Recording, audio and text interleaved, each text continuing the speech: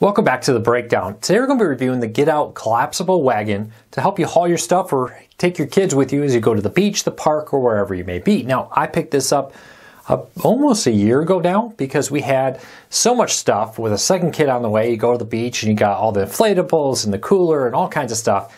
Having a portable wagon like this to throw all your stuff in was really nice. There's a few things that made us pick this particular model over some of the others on the market. We'll be breaking that all down here in this video. Also, you'll be able to see this on a uh, recording I made off my phone in my kids' playroom. This is one of the big open areas I have. Apologize about the mess there. Um, so ignore that, but I hope that the video with this helps out a lot. Now, if you are new here, a few things. If you want to find this on Amazon, I don't like to talk about pricing on this other than to say this is a competitive mid-range priced wagon on the market right now with a lot of features. But you can find it on Amazon in the first pinned post and the first uh, description and the first pinned comment, excuse me, there. The reason I don't go into a lot of pricing because pricing changes often. Often before I even post a video, it can change its price. Now, a few things here. If you want to help out this channel, do us a big favor. Hit that subscribe button, hit that thumbs up. It really does help us because it lets YouTube know you enjoy what we do here. And hopefully that helps them recommend this to other people. All right, let's dive into it. Now, we got this wagon in blue. It's also available in red. A few of the big things that help this wagon stand out is an adjustable handle um, and the ability to have a fold-out tray. One of the reasons we really got it, we love the fact that as we take this to the beach or the park or wherever, as the kids play in the sand, mom and dad get under the umbrella and sit in our lounge chairs, we can park this um, wagon between us, and there's a fold up tray on it with two cup holders to hold our bottles of water or whatever we're drinking there. It does lock in place and fold down very easily. It's very nice. Collapsing, it's very easy. If you've ever done a pack and play very similar, there's a little strap in the middle.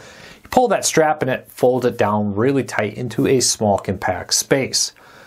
Few things with this, the wheels are very thick and durable, um, which makes going through sand and uh, sand or, or dirt a lot easier than some of the thinner wheels we've seen on other wagons.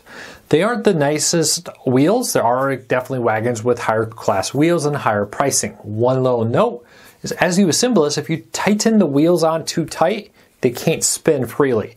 So you gotta have a, you know, once you tighten it to the point where it's securely locked in, you can stop there. Otherwise, you're to tighten the bars to the point where they impinge on the wheels, preventing them from rolling properly. Overall, though, I would say the quality of this is very good.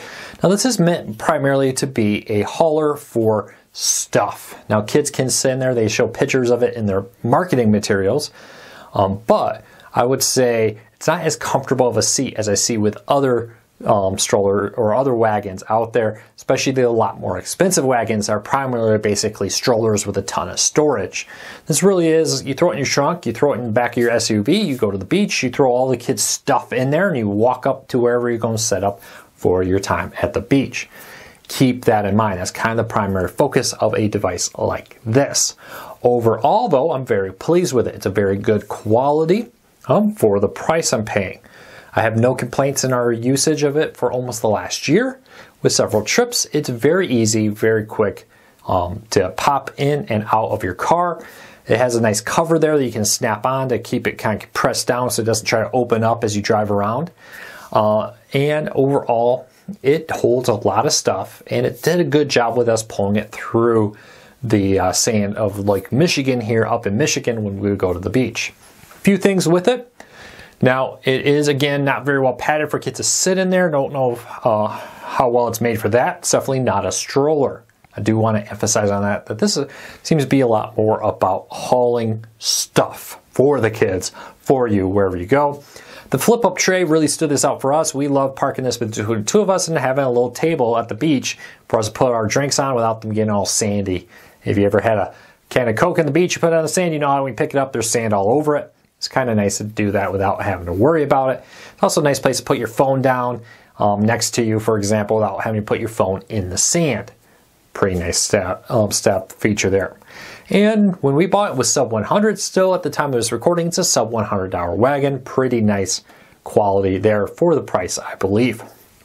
Again, there are far more expensive wagons like this on the market, which are basically oversized strollers so you got to decide which is what you want. Are you really looking this to be a stroller or are you looking at this to be more of a, hey, I want the ability to uh, go to the beach, put all of our stuff, our, our small cooler, lunch bag, uh, pail, inflatables, whatever, into a stroller and not have to carry them. As a dad, it can get tough once you start having more than one kid to carry everything you want out there. So keep that in mind.